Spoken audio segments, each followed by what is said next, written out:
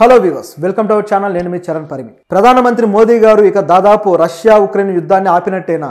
చూస్తూ ఉంటే ఆపడానికైతే పావులు బాగానే కదిపారు. సో రెండు దేశాల వైపు చర్చలు అయితే జరిపారు. ఇక ఆ చర్చలు దాదాపు విజయవంతమైనట్టే. ఇక యుద్ధం కూడా దాదాపు ఆగుతుంది అన్నట్లుగా మనకు కనిపిస్తుంది సినారియో చూస్తుంటే. నిజంగా ఆగితే మాత్రం ఖచ్చితంగా మోదీ గారి దౌత్యాన్ని అప్రిషియేట్ చేయాల్సిందే. అయితే ఆయన అక్కడికి వెళ్ళి ఏం చేశారు? ఉక్రెయిన్ వెళ్ళిన తర్వాత ఏమేమి మాట్లాడారు? దానికి సంబంధించిన వివరాలు ఏంటనేది మనం ఒకసారి చూద్దాం.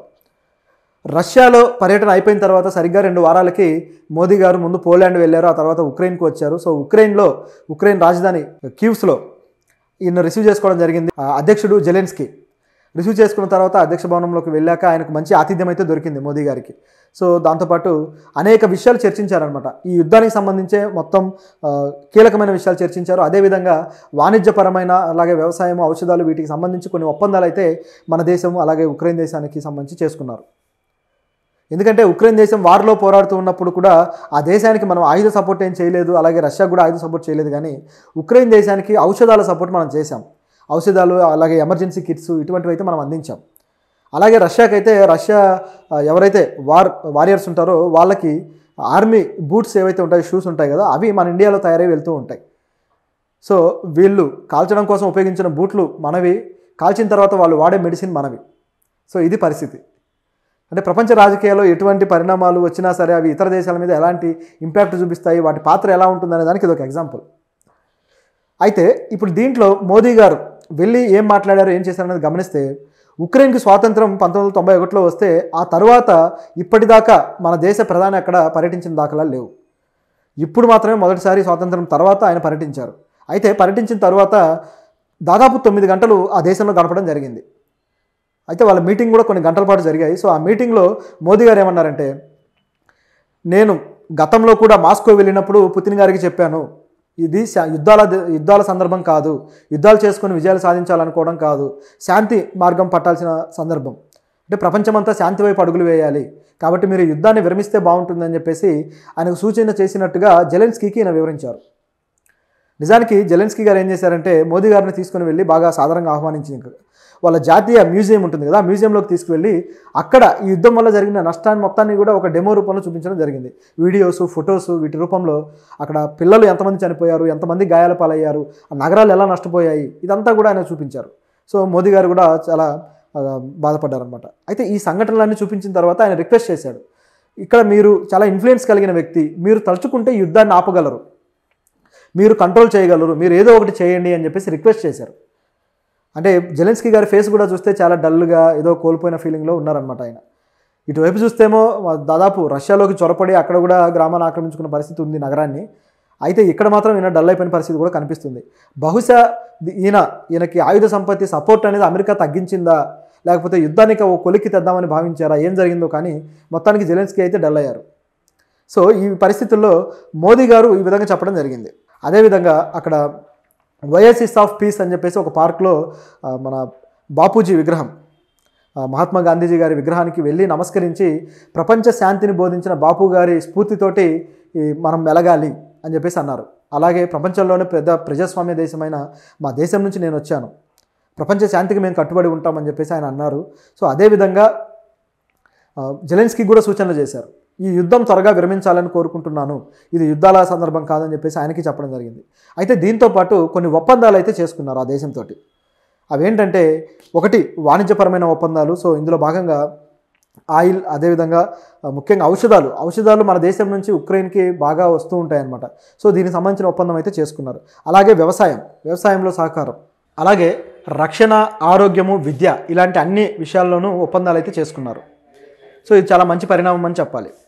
అయితే మోదీ గారు తన రాకని ఏ విధంగా ప్రకటించుకున్నారంటే మొత్తం గ్లోబల్ సౌత్కి ప్రతినిధిగా నేను వస్తున్నానని చెప్పారు.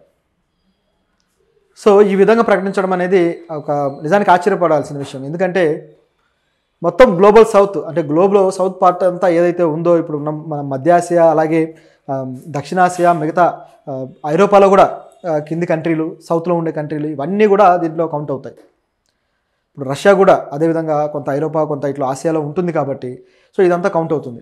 అయితే ఆయన ఈ విధంగా చెప్పడంతో ఆయన ఉద్దేశం ఏంటంటే మేము అన్ని ప్రాంతాలకు వెళ్ళగలము మా ఇన్ఫ్లుయెన్స్ చూపించగలము అని చెప్పేసి చాటడానికి అనమాట దాంతోపాటు మీరు తటస్థంగా ఉన్నారు దీని విషయంలో తటస్థంగా లేకుంటే బాగుండేది అని చెప్పేసి ఉక్రెయిన్ అధ్యక్షుడు అన్నారు. అంటే ఆయన ఉద్దేశం ఏంటంటే ఈ యుద్ధం జరుగుతూ ఉంటే మీరు చూస్తూ ఊరుకున్నారు కానీ ఏదో ఒక స్టాండ్ తీసుకొని మీరు యుద్ధాన్ని ఆపడానికి ప్రయత్నిస్తే బాగుండేదని చెప్పేసి అంటే మోదీ గారు దానికి ఇచ్చిన వివరణ ఏంటంటే మేము తటస్థంగా ఉండటం కాదు. మేము శాంతి వైపు ఉన్నాం. యుద్ధం జరగకూడదు యుద్ధం ఆగాలి అని మేము కోరుకున్నాము. బుద్ధుడు పుట్టిన నేల మీద నుంచి వచ్చాం మేము. కాబట్టి మేము ఇలాంటిదో కోరుకుంటామని చెప్పేసి ఆయన కూడా అన్నారు. ఎందుకంటే మోదీ గారు గతం నుంచి కూడా అదే చెబుతూ వస్తున్నారు. యుద్ధం జరగద్దు యుద్ధం జరిగితే అది వినాశనానికి దారితీస్తుంది అని. కానీ జరగాల్సిన పరిణామాలు జరిగిపోయాయి.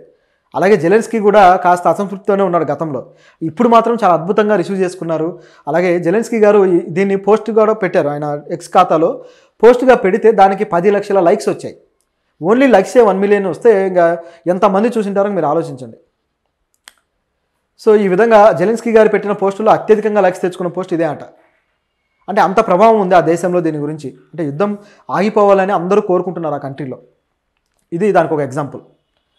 సో దాంతోపాటు మరిన్ని విషయాలు ఉన్నాయి ఆ యుద్ధంలో చనిపోయిన వాళ్ళు ఇంతమంది చనిపోయారని చెప్పేసి ఆ- దాని గురించి కూడా మాట్లాడుకుని బాధపడ్డారు.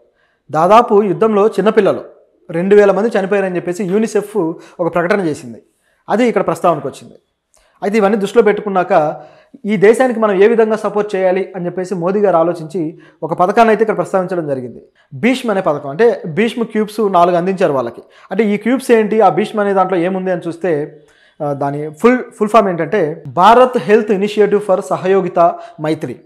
So ఇది దాని ఫుల్ ఫామ్. సో ఇందులో భాగంగా ఔషధాలని వాళ్ళకి కావాల్సిన ఏవైతే ముఖ్యమైన వనరులు ఉంటాయో వాటిని మనం అందించడం కోసం రెడీగా ఉంటాం అనమాట అంటే ఇమీడియట్గా కావాల్సిన ఒక అత్యవసర చికిత్స అవసరమైనవి.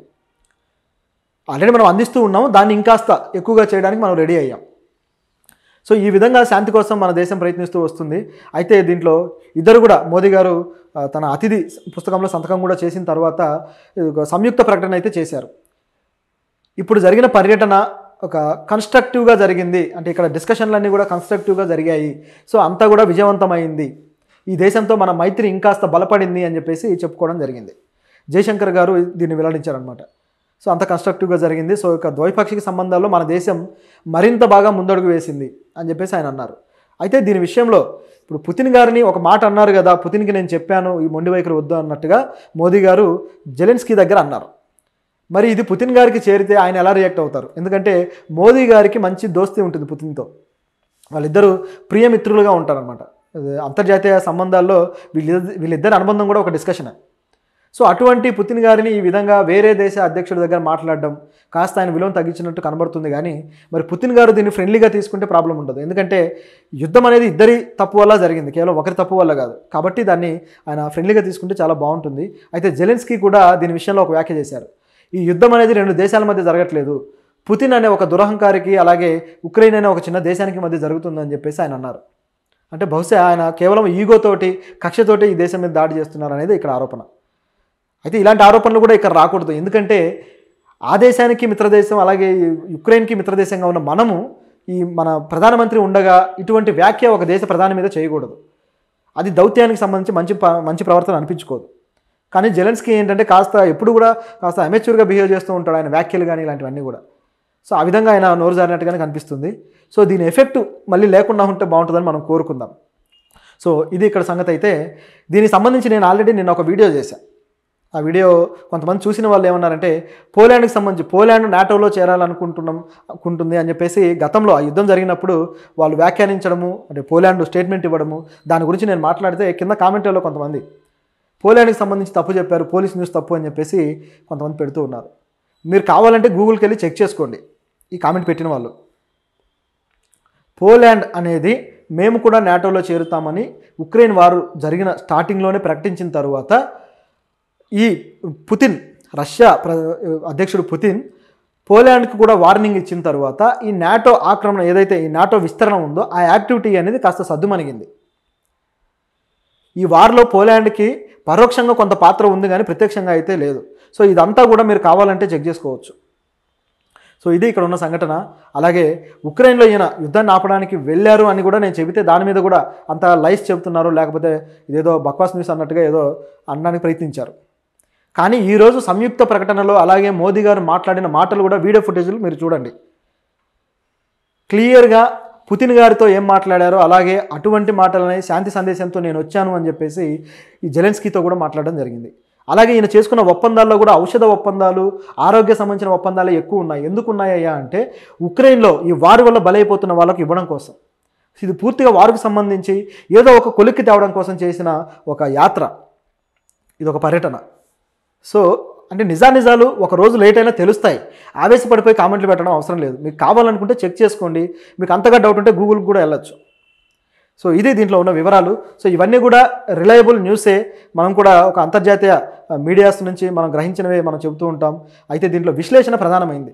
సో విశ్లేషణ మనం సరిగ్గా చేస్తున్నామా లేదా అనేది ముఖ్యం. సో నేనైతే నేను ఏదైతే నిన్న వీడియోలో మాట్లాడాడో మాట్లాడానో దాదాపు అలాంటి విషయాలనే మోదీ గారు ఇప్పుడు ప్రస్తావించడం జరిగింది. సో మనం రిలయబుల్ న్యూస్ ఇస్తున్నాం అనే దానికి ఇది ఒక ఎగ్జాంపుల్.